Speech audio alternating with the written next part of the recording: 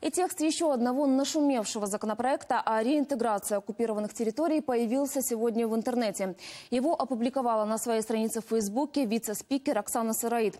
В документе 16 страниц он предусматривает признание России страной-агрессором, а не подконтрольные территории Донбасса оккупированными. Соответственно, все органы власти там незаконны. Президенту дано право прекращать полномочия областных советов и назначать военные администрации, а еще объявлять военное положение в любых областях, а не только в зоне АТО. Но, по информации источников «Украинской правды», это старая версия документа. Другой текст, англоязычный, тоже не актуален. Законопроект до сих пор меняется. Президент внесет его в парламент, скорее всего, завтра. Это же подтвердила и первый вице-спикер Ирина Геращенко. По ее словам, было несколько десятков версий документа, но в окончательном варианте будут определенные важные и неожиданные моменты.